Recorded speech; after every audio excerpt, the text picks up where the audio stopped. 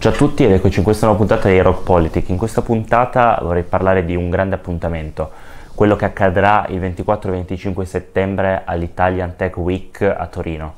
Ecco, avremo un ospite d'eccezione nel nostro capoluogo di provincia e questo ospite si chiama Elon Musk.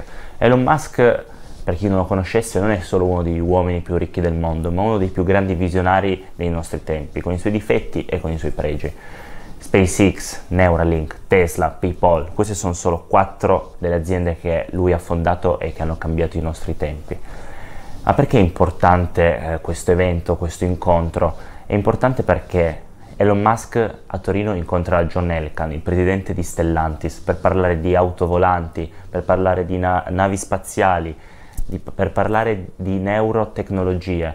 Ecco, cambiare il mondo, una nuova visione totale del mondo. E questo è molto importante perché l'Italia è di nuovo al centro del mondo. Da quando c'è Draghi l'Italia si sta sedendo sui tavoli più importanti e soprattutto è al centro di questa nuova innovazione tecnologica. Questo l'abbiamo notato anche a livello locale, perché ricordiamoci che comunque Stellantis sarà sempre legata alla città di Torino, quindi al nostro territorio, e subito vediamo le conseguenze.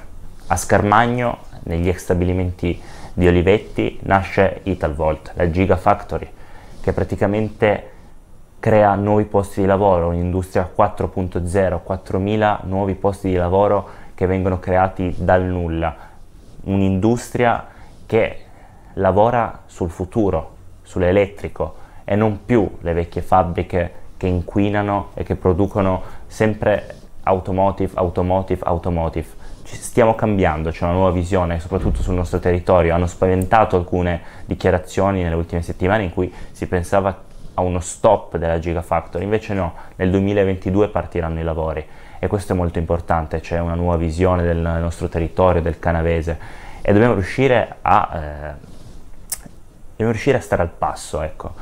Questo anche perché la politica ha fatto molto poco in questi ultimi anni. A livello ambientale si è fatto pochissimo, non si è riusciti neanche ad educare i cittadini, i cittadini più giovani a avere una visione ambientalista del nostro territorio.